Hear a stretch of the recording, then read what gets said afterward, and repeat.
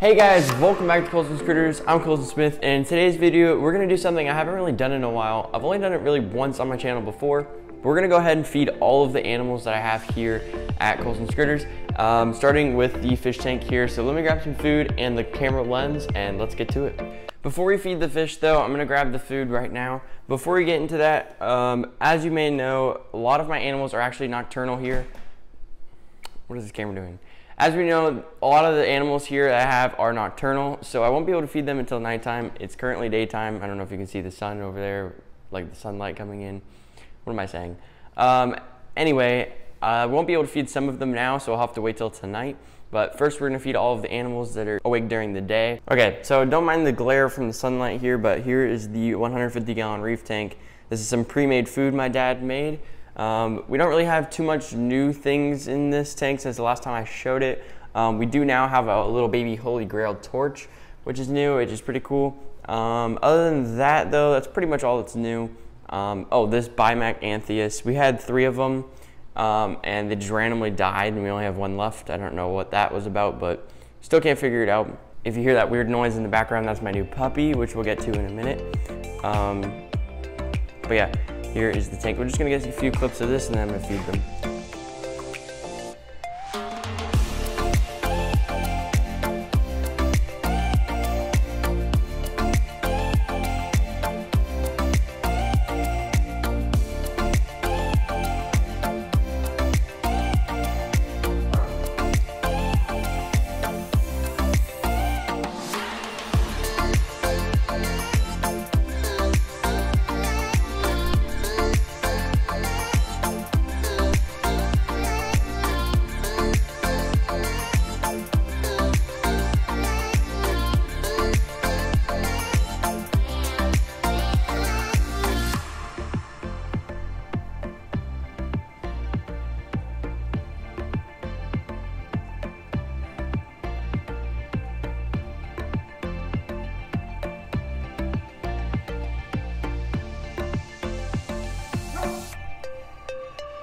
I guess we're gonna film the puppy next because he's non-stop making noise and wanting attention, as puppies do.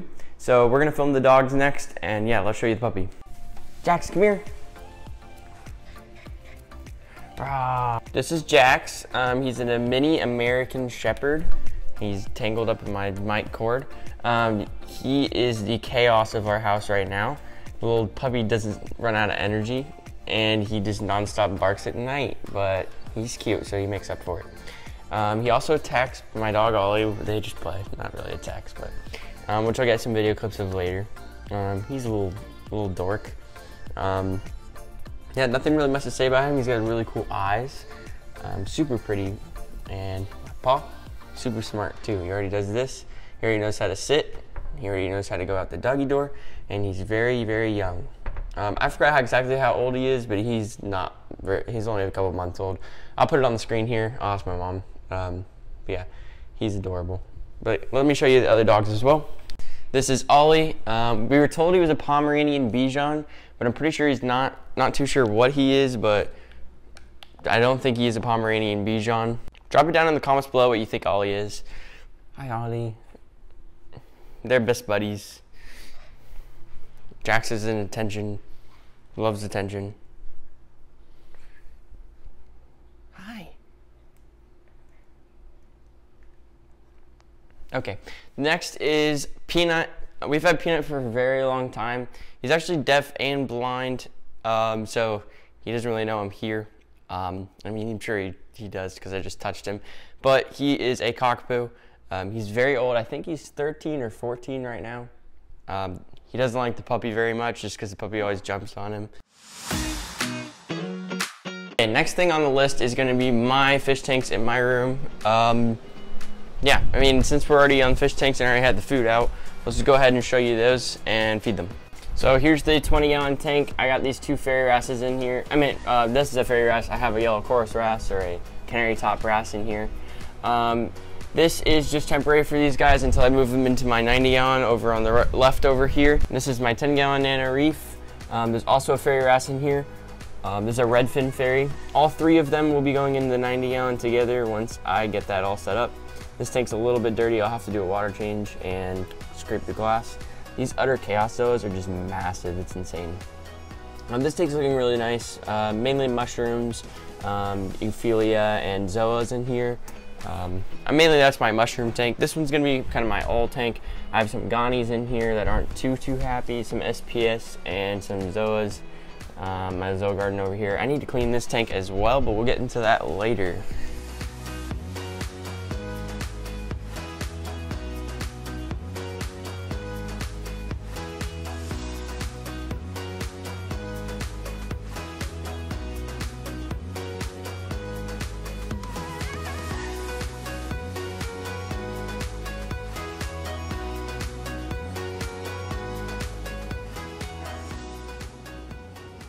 All right, we do have a bunny as well. He's kind of a newer um, addition to the fam. Uh, is gonna come outside with us, I guess. Oh, Ollie, come. All right, um, so we're gonna go see him. Uh, he's not very nice, or she's not very nice. Um, it's my sister's bunny, so yeah, uh, he's not very nice. We was kind of a rescue. Um, didn't the owner didn't couldn't take care of him anymore, so we ended up taking it for her. Um, but yeah. I'll show you the bunny.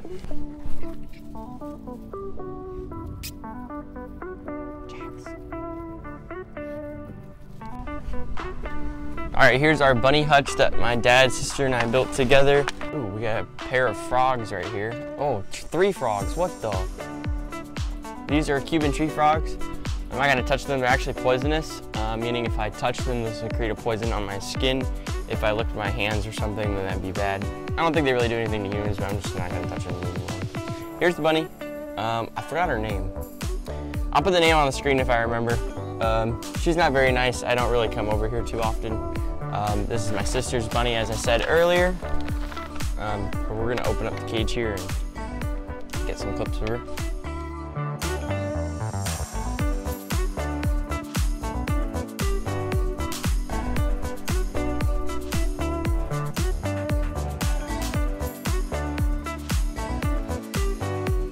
Okay, this is Fred the Puffer here.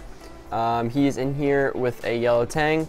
Don't mind the tank right now. Uh, we put a UV sterilizer here and another pump on here just to clean it up because we had a little bit of an algae bloom and we have the UV sterilizer helping out with that and the extra pump, which almost took care of it. It's almost gone. You can still see kind of a haziness to the water. That should be gone in a couple more days. But here is Fred, the adorable Fred. We're gonna go get him some shrimp to hand feed him and yeah, I'll be right back. All right, I got a few pieces of krill, which is Fred's favorite food. I'm just gonna hand feed him here. Come here, buddy. Wait for him to notice. Oh, there it is. Hey, watch your fingers feeding him.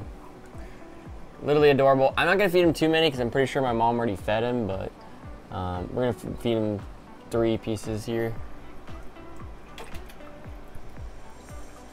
Literally adorable. All right, Bye, Fred. Fred here is in a 90 gallon tank with a 40 gallon sump. Um, this uh, whole setup, I'll do an updated video on the setup and all that later. Um, if you haven't seen it, I have actually filmed a couple videos on setting up this 90 gallon. Um, it wasn't complete in the video, so I'm gonna make another one of me completing it, which I filmed already. Next thing on the list is our crested geckos. I have three crested geckos here. Um, so I'm gonna pull them out and bring them out of my room so you can see them a little bit better. And then we're gonna get to the cutest animal I own. Okay, this here is my first crested gecko. Um, he was the first crested gecko I've ever had. Um, I named him William, and he is the biggest um, crested gecko I have. I shouldn't be saying he, it's actually a female. Um, I just thought I was a male when I was little, automatically, just because I wanted a boy. Uh, but yeah, this is him here. Um, super cool. I'm not sure like what kinds of crested geckos, so I, am not too familiar with those. Um, so I'm not sure what he is. Let me know down in the comments below.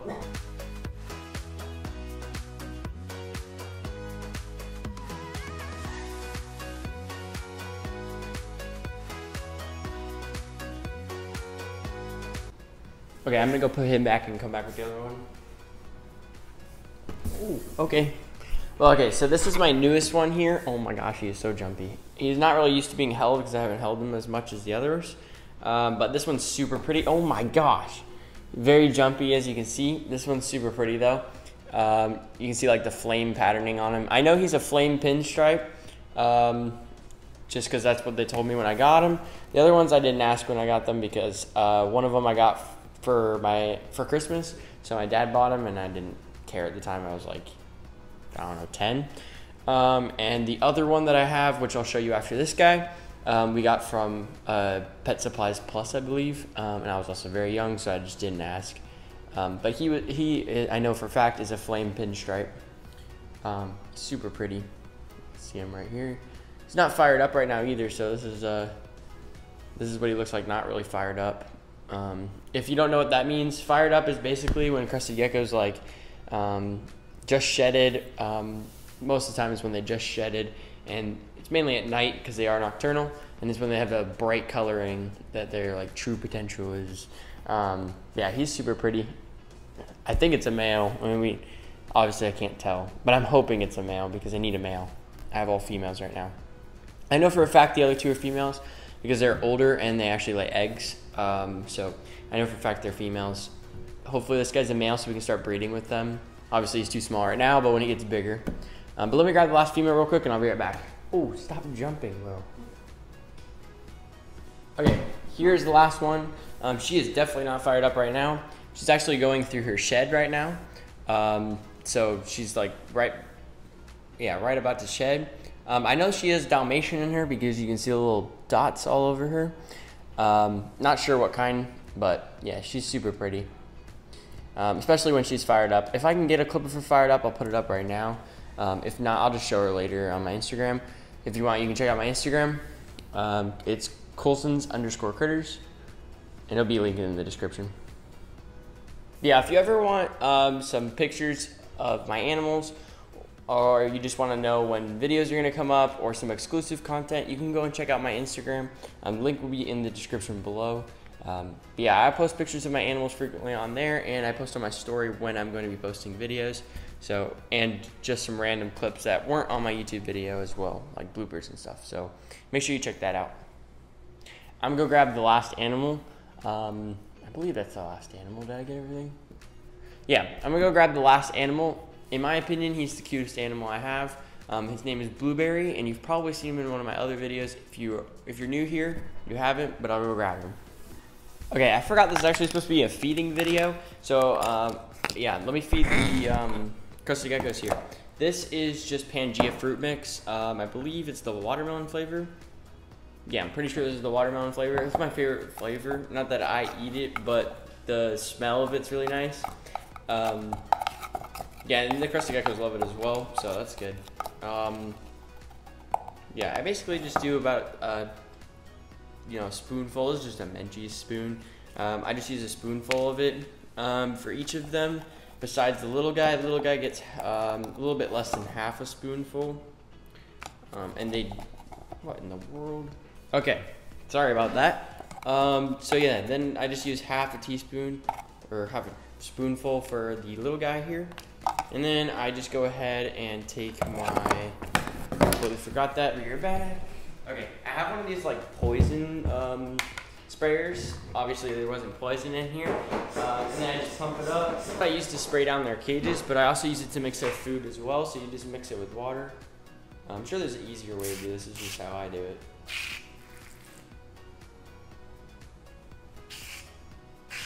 And if I accidentally put too much water or not enough, then I just add water or I add the paste, more paste. Yes, like this one's not enough. Um, I'll show you the consistency you want it um, in a second.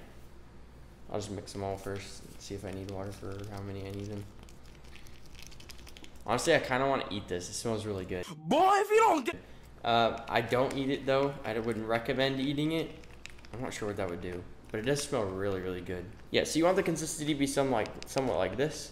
Um, one of the guys I like to give him a little bit of thicker consistency. It's actually the little guy here, um, because not for the crested gecko, but because the the way I built. So I built his background with out of spray foam and all that.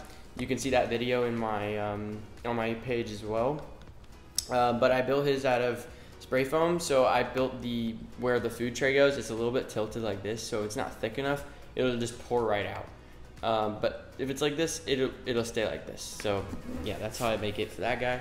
I'm gonna go give them their food, maybe get a few clips of them eating it, and then I'll grab the cutest animal. Okay, the next animal on the list is gonna be my sugar glider, Blueberry. Um, he's a male sugar glider. He, we fill his bowl with this every single day. Um, it's just constantly full with this. He knows when to stop eating. Um, this is Exotic Nutrition, the glider complete food. Um, this is what I use. It works for me. It works for my friend Risa. Um, she recommended this for me, and she actually breeds sugar gliders.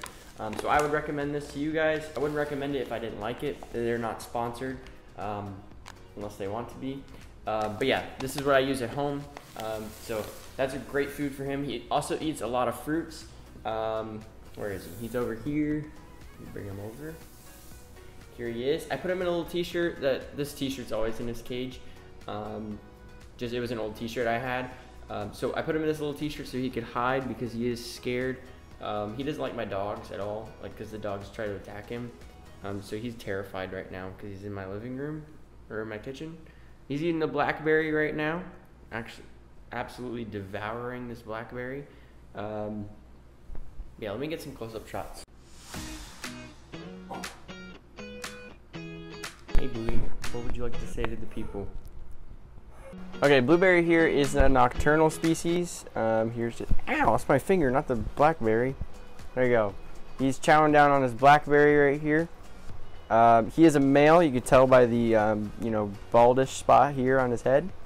Um, he's literally adorable. But yeah, sugar gliders are nocturnal. They need to eat tons of fruit, and they have um, a little pellet diet that I'm giving them, as you saw earlier. I'm gonna put him back in his cage just because he's a little freaked out, um, and he hasn't finished his sleep. Alrighty guys, that's gonna wrap up today's video. Hope you guys did enjoy. If you did, let me know down in the comments below. Also, let me know which fam which animal was which animal was your favorite down in the comments as well. Make sure you click the like button and subscribe if you are new here. Till next time, peace.